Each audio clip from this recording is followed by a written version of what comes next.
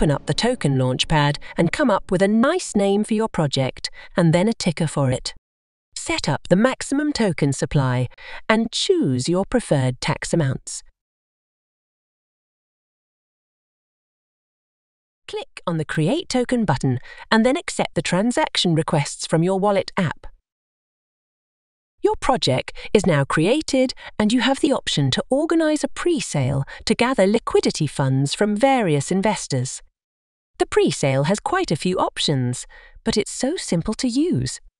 You start by deciding how many tokens you wish to inject in the liquidity pool, the next field allows you to decide what the hard cap will be based on the number you enter here, and you also get to limit how much can a single person invest into your pre-sale.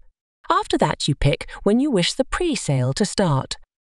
Then you decide how long the pre-sale will be online for and set up the vesting schedule for the locked liquidity. Lastly, choose the preferred ratio for asset backing, for dev share, and for the second liquidity pool paired with FEG token. That's it. Now click the Approve button and accept whatever wallet requests you receive. Then click on Deploy button and again accept the requests. And it's done! Your new pre-sale is all set up and ready to go. Congratulations